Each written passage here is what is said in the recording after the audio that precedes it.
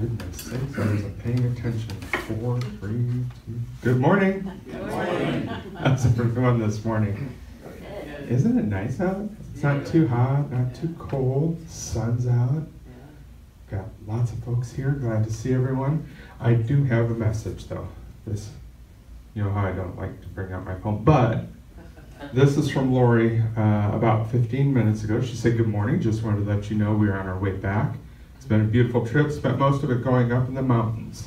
God's creation is beyond compare. Planning to listen in. Well, hi, guys. And please tell everyone we're thinking of you all and praying you have a blessed day. So, thank you, Lori and Mark. They needed some much needed relaxation. Well, as long as I have it out, go to. Eh, I, I did this last week. Hi, everyone online. You can do this too, but go out to your Facebook page, find Grace Street Church, hit the share button on the video, and share that out. It's a nice, easy way to share the church with others, share the message with others, without having to uh, talk to them. Especially if you're an introvert, you know that's always nice, right? Well, it's a beautiful, as Mr. Rogers always said, it's a beautiful day in the neighborhood. Today, we are continuing our sermon series on season four of The Chosen. The crazy part is, this is week seven of eight. It's hard to believe we've gotten this far this quickly. Season five comes out next year, so as soon as that's available, we'll get on in on that.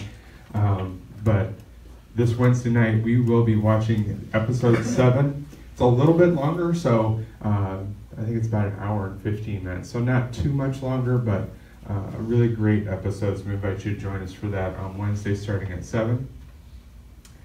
Then we have a little bit of a break before we have any events coming. November 2nd, men's breakfast. Now, always a good meal, always a good time. Guys, we invite you to, to come. If, if you are coming, invite somebody to come with you. Better yet, go stop, pick them up so you make sure that they come along with you. And then that evening, we'll change from having a little restaurant in here to a movie theater, and we will be showing the movie The Nativity Story. This movie is uh, always like every other movie, always free, and so are the concessions.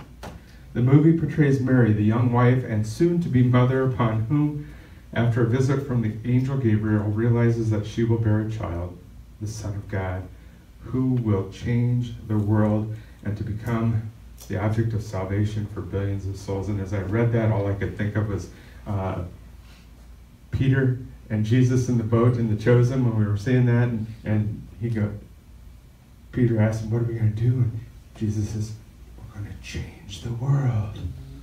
So, gotta love that. Um, but we'll also see how this affects Joseph and certainly Mary as they journey to Bethlehem for the Roman census. And it's a great, great adaptation. So we invite you to join us for that. Now, when you go home from this, don't go straight to bed. Go to all your clocks in the house that aren't automatic and turn them back an hour. Can you believe we're already at that point? We're only two weeks away from the clocks falling back. So just thought I'd throw out that reminder not to be a Debbie Downer today, but um, on the bright side, the following weekend we'll have the final races for season 19 of Orange Track Racing. Uh, we'll have the monthly races as well as the uh, season finales, and we'll be handing out trophies and doing race offs for car of the year because whoever wins a class, kind of like Daytona, we sequester the car.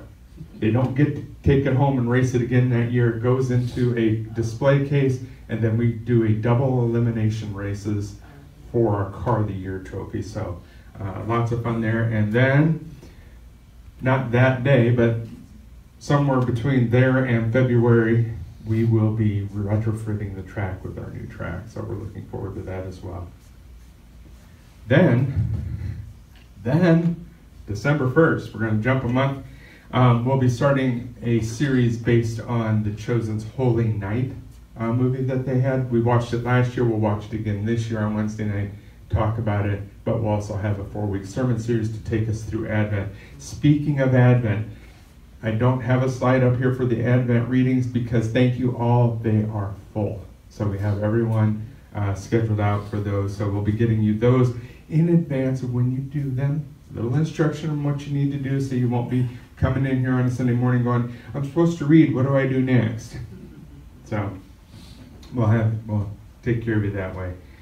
But that same day, that evening, we're going to do our Christmas tradition. This is something we started last year where we in the evening invite you to read a chapter of Luke every day.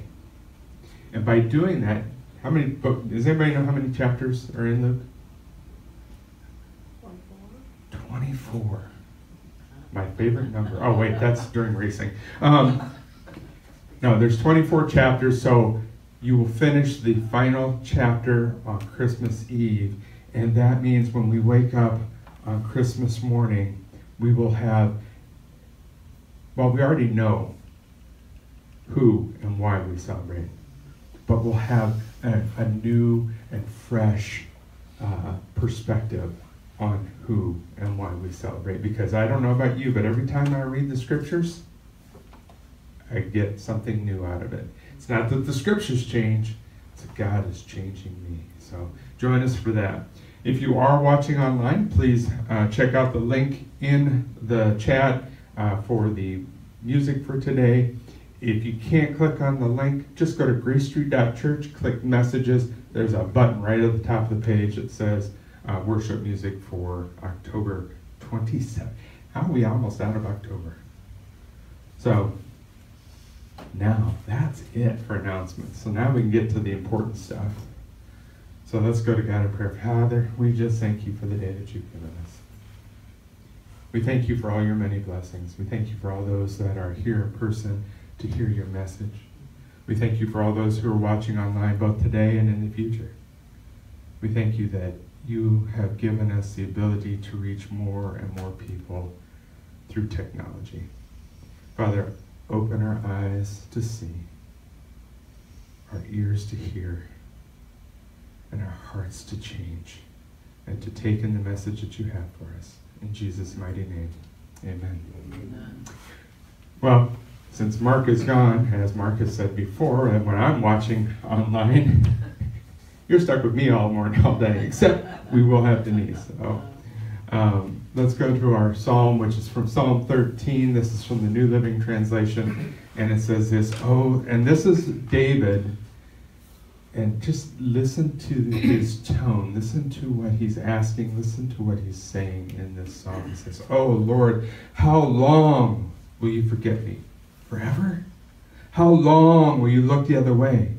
How long must I struggle with anguish in my soul, with sorrow in my heart every day? How long will my enemy have the upper hand? Turn and answer me, O Lord my God. Restore the sparkle to my eyes, or I will die. Don't let my enemies gloat, saying, We have defeated him. Don't let them rejoice at my downfall, but I trust in your unfailing love. I will rejoice because you have rescued me. I will sing to the Lord because he is good to me. In this psalm, David feels now, if you've seen the movies or read the books, he's left behind. He feels left behind by God and he is wrestling with thoughts of being abandoned. And he's not alone in this. Have you ever experienced it? I'm betting at some point, in some way, somehow, you have. And it's easy, so easy to fall into a trap thinking that we've been abandoned and to look and to feel like evil is winning. Now, this is especially true when what we're going through extends out over a longer period of time. Short stuff, it's kind of easy to deal with, but the longer it drags out, the harder it can be. David, we all know he was a mighty warrior, and we all know that he has an even mightier army and he still felt this way. We need to realize, as David did, that without God, we're going to be defeated. We also need to understand that there will be many trials and times when things do not go our way. Because we always want things to go our way, right? Well, that's not the way it's going to happen. And the, that one place that we will never be defeated, that's when we fully rely on God. Go to Proverbs 3, 5 and 6. Do not depend on your own understanding. Because when we rely on God and His intervention in our life, those spiritual battles, they're won. They will be won. And David recognizes that even in defeat, that he needs to rely on God's strength, and that without that, it means that we will not only be spiritually defeated, but we will allow it to continue it until it leads us to a spiritual death. That's why the ending of the psalm brings us such great hope. No matter what happened, David still trusted in God's unfailing love. We should have that same confidence in God's unfailing love for us. David certainly wasn't perfect. We know that from the scriptures. But God kept his promise to him and to his people, and he keeps it to us to this day. So let us rejoice in the Lord no matter what the circumstances are. Lord, let us live with the expectation of your goodness. Remind us that no matter the circumstances that we are in, that you are there. Your faithful love endures forever. Father, you are ever faithful in your commitment to us. I pray that we would be ever faithful in our commitment to you. Heavenly Father, we rejoice in your goodness, your love, your mercy, your grace, and your forgiveness. In Jesus' name, amen. This morning we're going to pick up where Mark left off last week. Lazarus, as we saw last week, Lazarus had gotten sick. And Jesus, knowing what was about to happen and why it had to happen, he waited after he heard that Lazarus was sick. Reminds me of what we talk about a lot about prayer. Sometimes the answer is yes, sometimes no, sometimes not yet, not right now. Well, this is one of those times because I'm absolutely positive that Lazarus was probably praying for healing, Mary and Martha were both praying for his healing. And God said, Not yet. Because God had a plan that no one at that time would understand it. We only understand it because we have the benefit of after you know 2020, that hindsight. We can look back on it. This is the last sign. Think about that. This is the last sign that we are going to have Jesus do publicly. Now we're talking about Lazarus, and unfortunately, that means we talk about death. And death is a fact of life. And we all know that at some point it's coming. When we're young, we think it's a long way off we live our lives like there's always going to be another tomorrow. And then what happens? We blink. As we get older, the reality of age, number one, becomes apparent. Or at least you're told that it's apparent. I'm supposed to, I'm, I guess I'm not supposed to get into the yardie and jump on the leaves and the sticks to push them down to get more in. But, oh well. The fact is, though, that reality sets in when we realize our mortality. That reality of death begins to grow. And knowing that reality, do you know where your hope lies? Do you know where the hope of your family and your friends lie? In last week's and this week's episodes, we see Jesus' humanity. What did we see in last week? For those of you that saw it, we saw the anguish of Jesus as he went to bed after hearing of Lazarus' sickness. And when we think about Jesus' humanity, it reminds me of a previous episode. Do y'all remember when he had gone to Lazarus' house and we talked about Martha being so busy trying to get everything ready and Mary was. A... But in all of that, what happened? Jesus left after the meal, went outside, and he ran into Mary, his mother. And what did she do? She washed his hair. And then she pulled it by accident. And he said, Ouch, that hurt you know, I am human. And she was like, Yeah, I know. I changed your swaddling clothes. In his humanity, Jesus is agonizing over Lazarus' illness because he knows that it's going to lead to death. They were friends. And not only friends, Jesus loved Lazarus and his family. And he knew how Lazarus' death was going to affect everyone, especially how it would affect his sisters, Martha and Mary. He also agonized over what he was going to do as it was going to lead to his own death. Lazarus' death and resurrection were but the beginning, the beginning of the end. This would be Jesus' final public display, his final public miracle. I wonder what that conversation looked like as the disciples were walking to Bethany.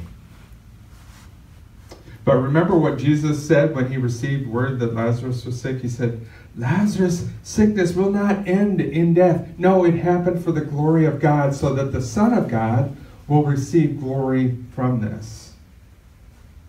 Those who would have heard this would have taken that at face value.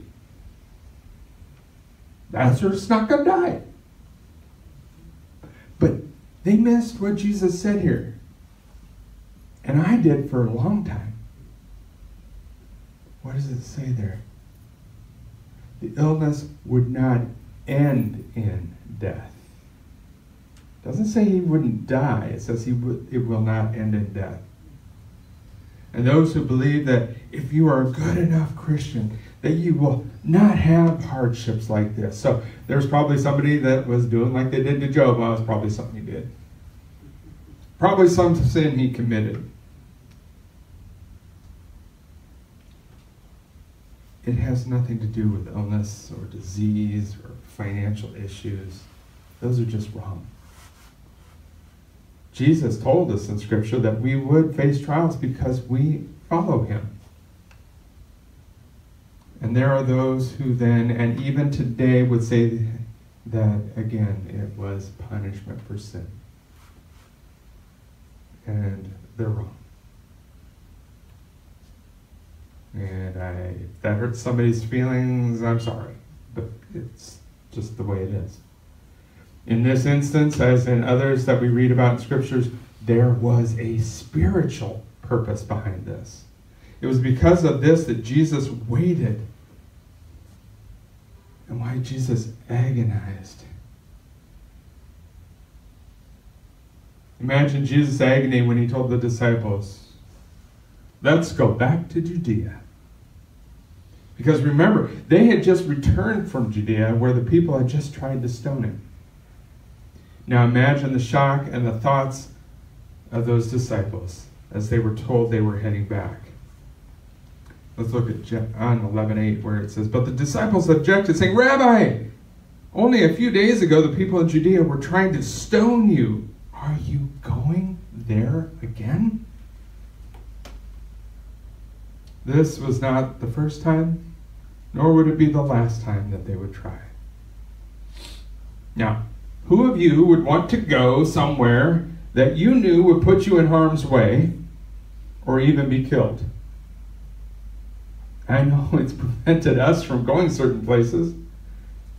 I'm a little scared to go to the Twin Cities or Chicago. I would really, absolutely love to go and walk where Jesus walked. But we all know that's a little dangerous over there.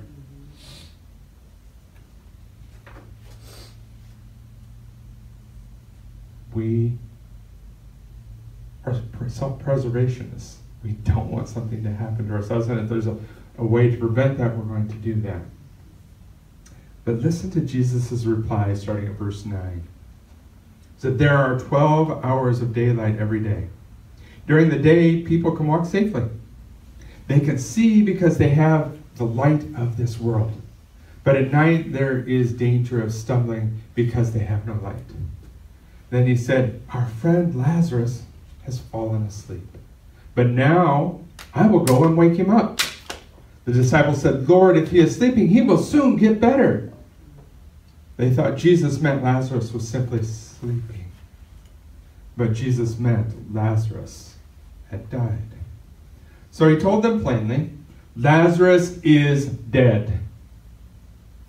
And you can almost hear the matter of factness of his voice. And for your sakes, I'm glad I wasn't there. For now you will really believe. Come, let's go see him. And then Thomas, nicknamed the twin, also we know as Doubting Thomas, said to his fellow disciples, Let's go too and die with Jesus. Now, again, another passage that for several years escaped me. Jesus wasn't just talking about actual daylight and nighttime. His earthly ministry was the daytime, a time for action, a time for getting things done. And the disciples had Jesus, and later they would have the Holy Spirit to be with them so that they could live the life that they were called and they could walk the walk that they were called to walk. And even if they stumbled, they would not be alone. The same goes with each of us when we walk with Jesus. Now, nighttime, well, that's dark. And that symbolizes acting without Jesus. So think spiritual darkness. If you have ever tried to walk around in the dark, you know there are many things that you do not see that can hurt you. And some of you may have heard this story, so I apologize.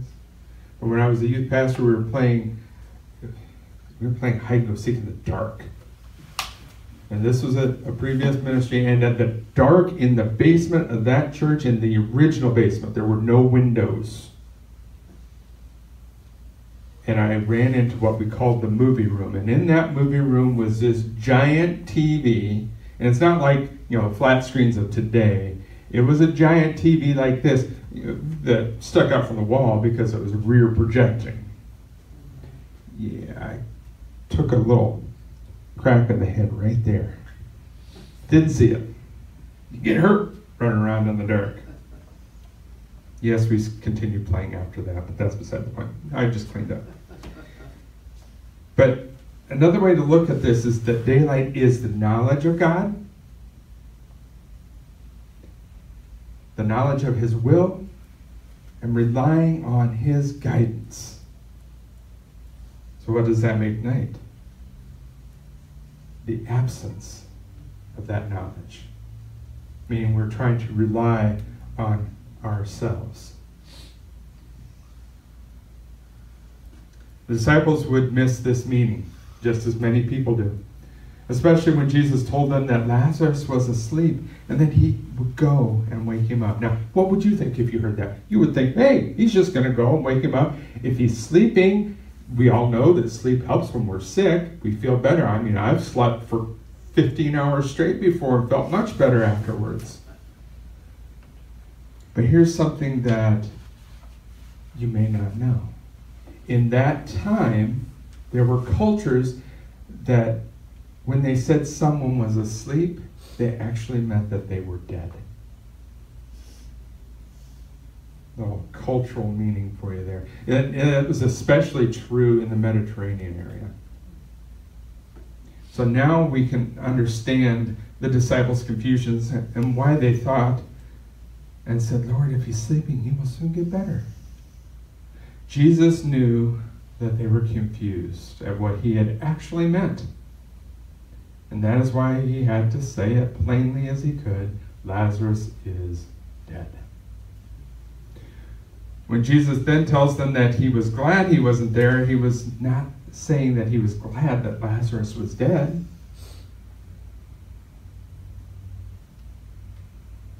He would have only been glad with what he was about to do.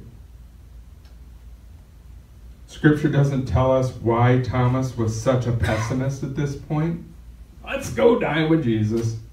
All right, let's just go. There were likely many factors that we don't know. There's a whole backstory behind Thomas that we don't know because of Scripture. What we do know is that he basically said, Fine, let's all go with Jesus. So this time, instead of just getting stoned and getting hurt, we can just die with him. Now, in the show The Chosen, we have seen they've filled some of these storylines. So they're not exactly biblical, but they give us a plausible reason as to why things happen. So if you've been watching the series with us, you know what has happened to Thomas, and if you haven't, then I have to tell you what I'm about to say is a spoiler alert. And it's this very scene that the spoiler alert is about. So, beyond his disbelief that we would later come across, there's a storyline in The Chosen where he had worked with and fallen in love with and eventually had become engaged to Ramah, who is not in the Bible. She is not a biblical character. She is just part of the story that The Chosen is telling. And in a few episodes ago, we watched as a Roman ran a sword through her and killed her. And in the story here, Thomas has struggled with her death ever since. And was made worse in this most recent episode, in this very scene, when Jesus and the disciples had just gotten back from being stoned and Big James, he's the one laying on the table, he got hit in the head with a rock. And if you remember from the episode, they, these weren't little stones like, you know, Denny's Jesus rocks back there. These were stones. Not smooth enough for you to use, Denny. And one, can you imagine getting hit in the head with a stone? I can somewhat imagine it because when I was in Scouts as a kid, we were climbing up a hill at a state park, and somebody pushed me forward because a rock was coming down, and of course, that rock hit me square on top of the head. It was sandstone, so it wasn't as you know, being this big is probably that much weight, but it still hurt, and there was blood everywhere. And you're a little delirious, and you start thinking and saying things, and well, Big James blurts out about Jairus' daughter being brought back from the dead. Remember, there was just Jesus and Big James and John and Peter, right? And they were told to not tell anyone. So when he blurts it out, and Thomas is right there and he hears that, can you imagine how he felt? You, know, you hear something that you probably you're not supposed to hear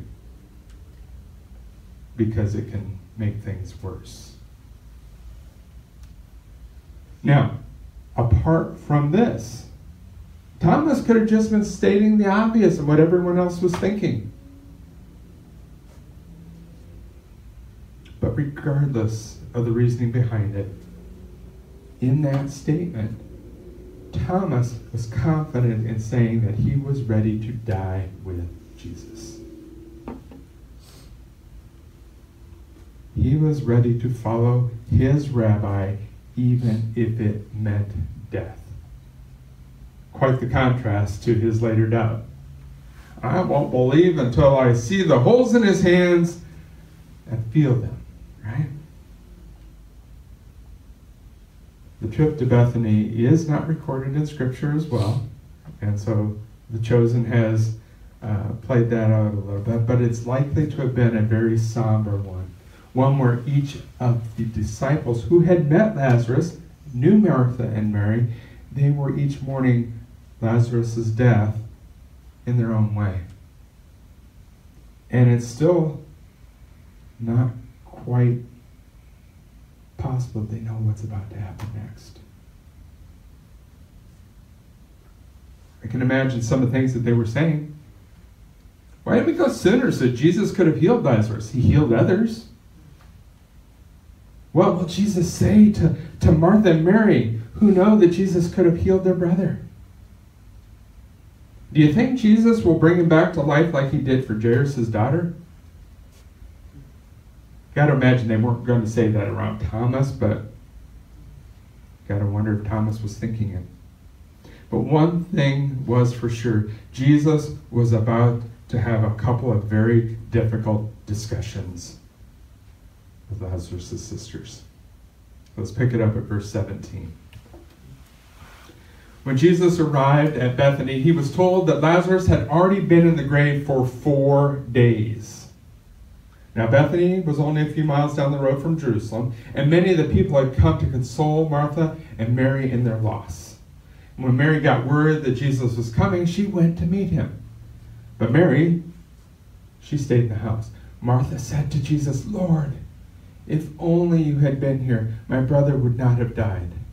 But even now I know that God will give you whatever you ask. And Jesus told her, Your brother will rise again.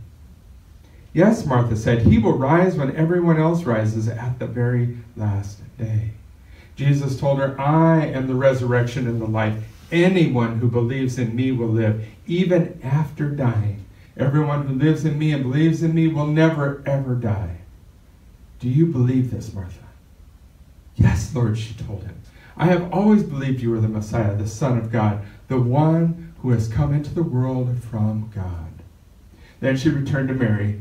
She called Mary aside from the mourners and told her, The teacher is here and wants to see you. So Mary immediately went to him. Now, Jesus had stayed outside the village at the place where Martha had met him.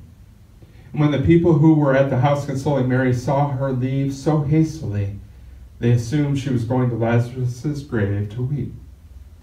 So they followed her there. And when Mary arrived and saw Jesus, she fell at his feet and said, Lord, if only you had been here, my brother would not have died.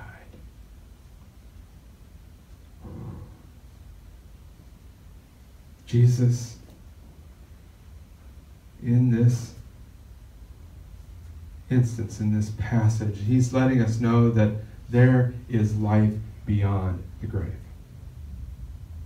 He's letting us know that once our earthly life ends, our eternal one begins. Martha and Mary were frustrated. They were angry. They were disappointed and likely spiritually drained. But just as in the psalm from our call to worship, where David took it to God, Martha and Mary took it to Jesus. Remember in their psalm, David says, Why, why, why? And that's what Martha and Mary are saying to Jesus, Why, why, why? Both believed and knew that Jesus was the Messiah, and they, they let him know how they felt. Jesus already knew. And it was part of the anguish that he had been feeling, knowing that he had to allow this to happen to those whom he loved. Like David, like Martha, and like Mary, we need to take it all to God in prayer. Now, people tell me, but God knows everything. Yes, God is omniscient and He already knows, but He wants you to talk to Him. That's what being in a relationship is about. If you don't talk to one another, and I'm told I need to work on this, if you don't talk to one another, the relationship can grow stagnant and even start to crumble. So it's important.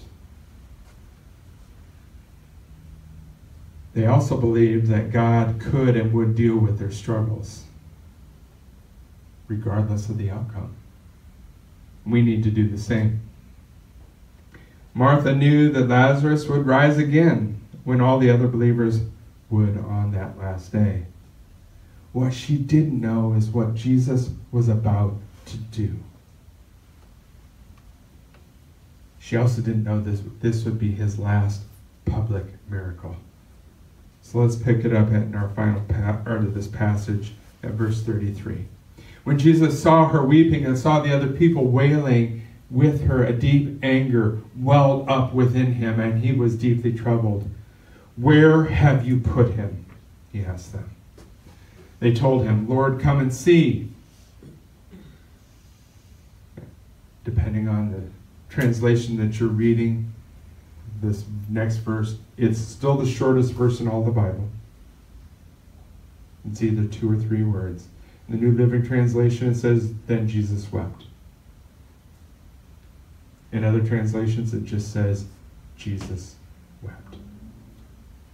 The people who were standing nearby said, See how much he loved him. But some said, This man healed a blind man. Couldn't he have kept Lazarus from dying? Jesus was still angry as he arrived at the tomb, a cave with a stone rolled across its entrance. Roll the stone aside, he told them. But Martha, the dead man's sister, protested, saying, Lord, he's been dead for four days. The smell will be terrible. And y'all, I'm sure, can just imagine in your minds what the worst smell you've ever smelled and make it worse. Jesus responded, Didn't I tell you that you would see God's glory if you believe? So they rolled the stone aside. Then Jesus looked up to heaven and said, Father, thank you for hearing me. You always hear me. But I said it out loud for the sake of all these people standing here so that they will believe you sent me. Then Jesus shouted, Lazarus, come out. And the dead man came out, his hands and feet bound in grave clothes, his face wrapped in a headcloth. Jesus told them, Unwrap him and let him go.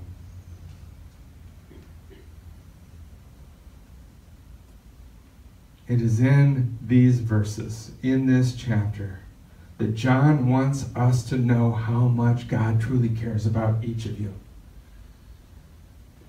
When the others were crying, so did Jesus, and I do not believe for a moment that it anybody a sympathy prayer? I don't believe it was sympathy crying on Jesus' part. He had been in anguish. He was genuinely affected just as much as they were by Lazarus' death. He was also genuinely affected by his care and concern for those who were there. And let's think about who might have been there. There was the family. There were the professional mourners. That was a job.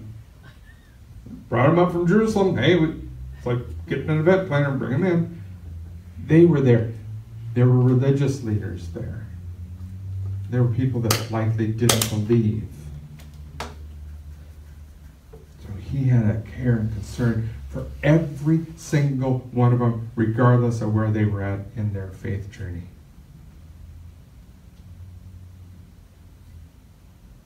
It also could have just simply been his their grief that he was empathizing with.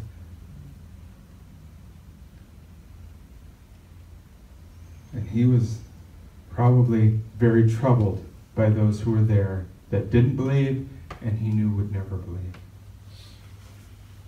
but it was a genuine care and concern for all of them. It's a same care and concern that has well, honestly brought both Pastor Mark and myself to tears.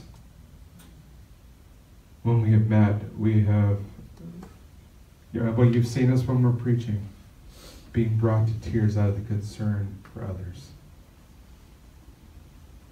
I can think of no other so called God that has a concern like this for us messy humans. Because let's face it, we're pretty messy. I'm not talking about your hair. I'm not talking about your clothes. I'm talking about your life. And mine's messy. I, I totally get that part. It is in becoming human like us that we see a God who is full of compassion, full of pain, frustration, and sorrow. One does not show those types of emotions if they don't care for someone else. You don't care for somebody, you ain't showing no emotion. That's just the way it is. But because Jesus experienced these emotions along with so many others, is that's why he can sympathize with us, why he can have empathy for us, why he can hurt so much for us. So, what is the other part of this lesson? What is the other part that Jesus is trying to tell us?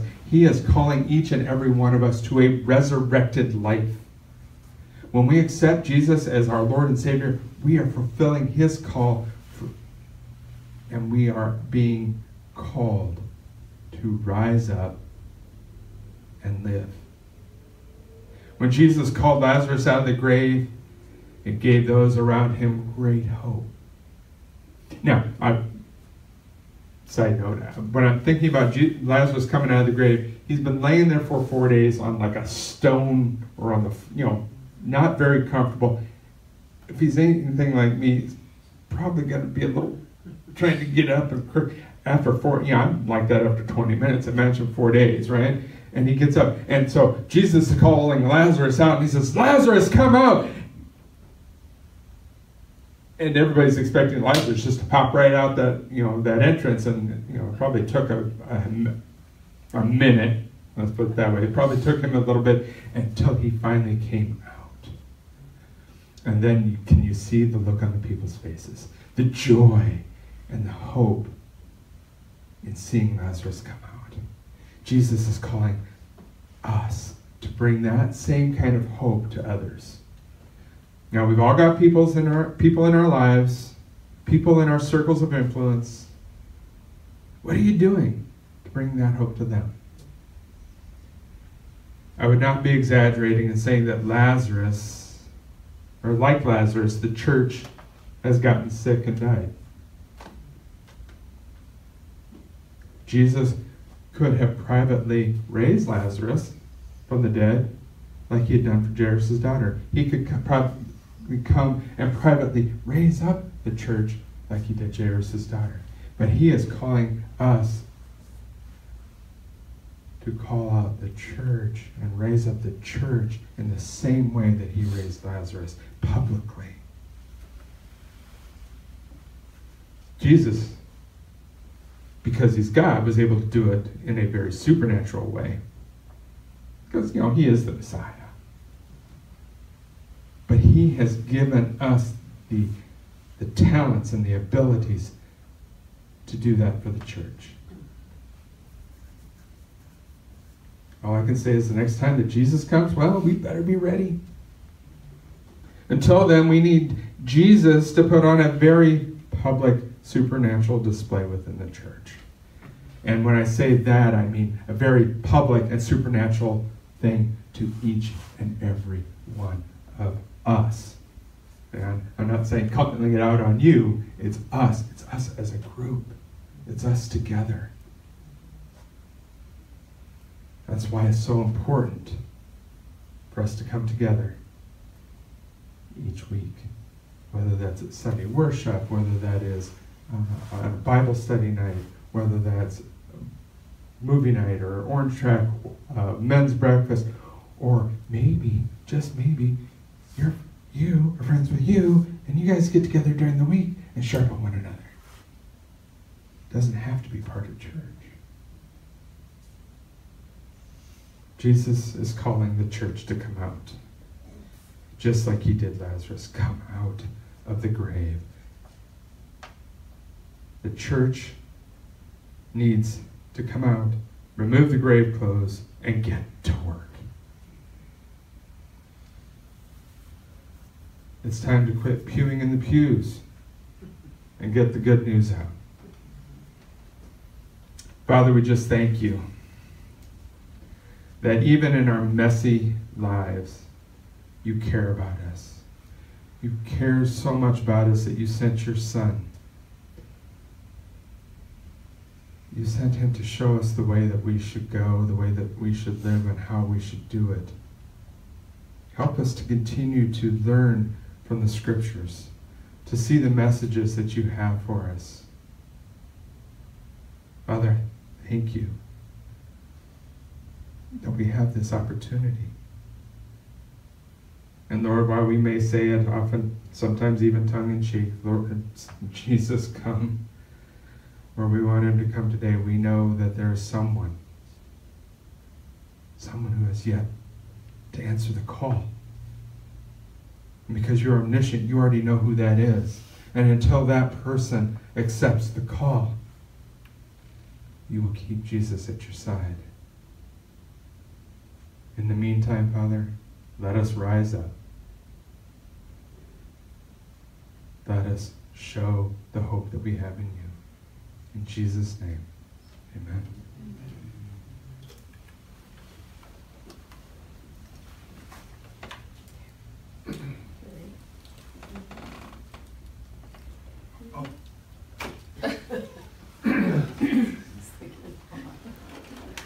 Denise is looking at me like, um, what's going on? I know. I'm, I'm looking for Mark to come up here.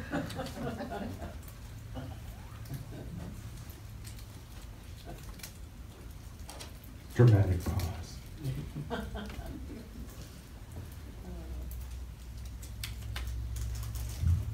All of this is leading up to Jesus having that final meal. In the show, in this most recent episode, Jesus actually sits down with Lazarus and they have a conversation about what happened. And Jesus admits, I knew you were sick and I waited. And Lazarus didn't take it out, he didn't get upset. Because Lazarus was still connected to Jesus in his belief, even in his death. There was still a connection.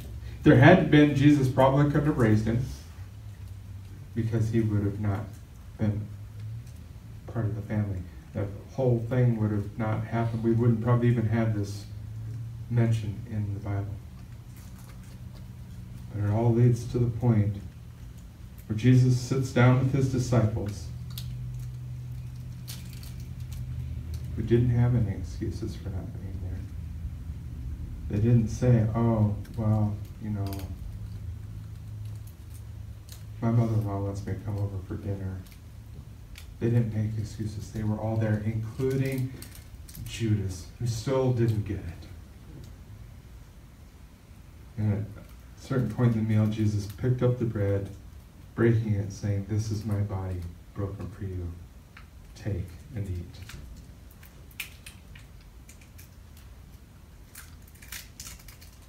And then a little later in the meal, he would take the cup. This was after they might have even sang a few hymns. He takes the cup and he fills it and he said, This is the blood of the new covenant, my blood shed for the sins of many. Take and drink. The scriptures tell us as often as we do this, we are to do so until Christ returns.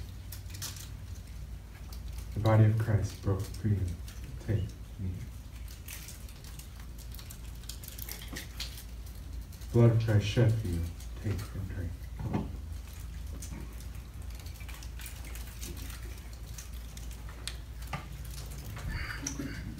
Lord, we thank you for what this meal represents. We thank you that each time we come together that we can share in this meal and be reminded of your grace, your love, your mercy, and your forgiveness. Let us never forget. In Jesus' name, amen. Hey, now it's my turn. Good morning, everyone. It's time for prayers for the people. So if anybody would ask for prayer, I'd be willing to pray for you. And if not, I have a blanket prayer for everybody, so let's pray. All right, Father God, let the Holy Spirit reign in this house as we lift people up in prayer to you today. Father, we give you praise to the one and only true God, the Father of Abraham, Isaac, and Jacob. You open the eyes of the blind. You know your sheep, and you call us by name. You heal our diseases. You answer our prayers. You walk with us through the valley of the shadows. You put your Holy Spirit in us to guide us through the darkness of this life. As in John 14 27 states, Peace I leave with you, my peace I give you. I do not give to you as the world gives. Do not let your hearts be troubled, and do not be afraid.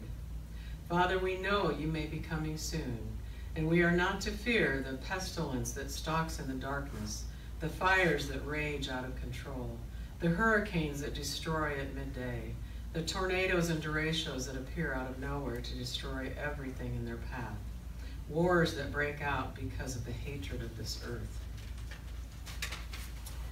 Help us to fix our eyes on you, Jesus, so that when these things happen all around us, we will be in perfect peace because we trust and believe in you for our lives. You have a plan and purpose for each one of us. Help us to read and study your word so that we may know the direction you wish for us to go. Help us to walk in your truth and in your love and not depend on our own understanding, for that will lead us into places we should not go. Help us to love one another as you have loved us, so that when disaster strikes, we will help each other and lift each other up and out of despair. Because you give us hope for each new day, you are an amazing God. May all glory and honor be yours for all things, great and small. And Father, I lift up those here and online that are suffering from viruses, cancer, broken bones, surgeries, allergies of all kinds, broken hearts, and diseases of all types. We ask you to hear our prayers, O Lord, we ask that you bind up the infirmities, heal their bodies, because you are Yahweh El Roi, the God who sees your afflicted ones. You know each and every person. You formed them in their mother's womb.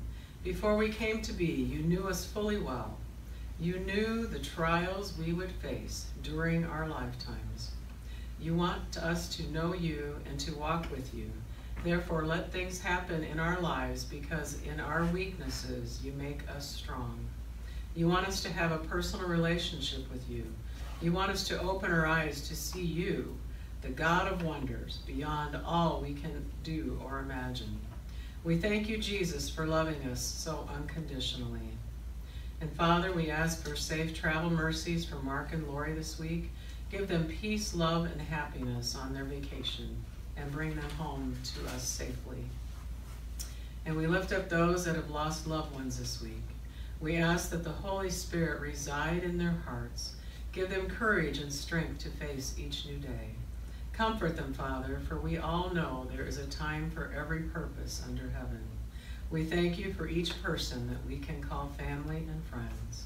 Give them the peace that passes all understanding, like only you can. As always, Lord, we lift up our children and grandchildren. We ask that you walk with them each and every day, that they might know you and have that personal relationship with you. As the days are getting colder, Father, we ask that the shelters be open sooner this year to get the homeless into a place of comfort. We thank you and praise you for all you do for us, O Jesus. May your name be praised throughout all the earth, forever and ever.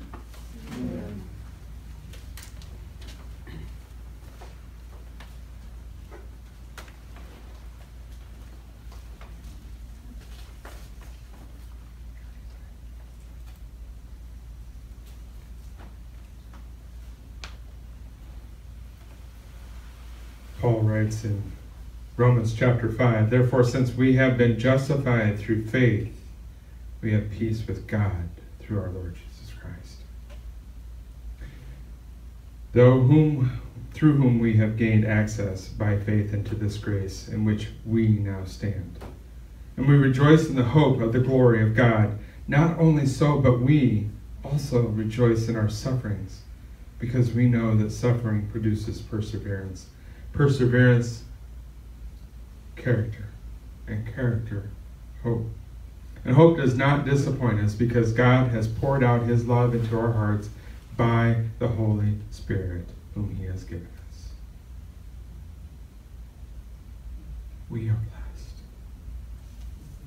regardless of what you're going through. Whatever the trials that you're dealing with, it might be dealing with family, friends, work, financial, you may be even struggling spiritually. Know that you have a God who cares, a God who loves you, a God who went through being human to be able to empathize and sympathize with us and know exactly what we're going through. Father, thank you that you sent your Son. Thank you that He knows exactly what we're going through. Thank you that He is sitting at your right hand, intercessing for us because of what He knows. Father, thank you for your grace, your love, your mercy, and your forgiveness. Order our steps, Father. Help us to be more like you. But thank you that even when we stumble, even when we fall, that you are always, always there to pick us up. In Jesus' mighty name, amen. For those of you that are watching online, thank you so much for joining us today.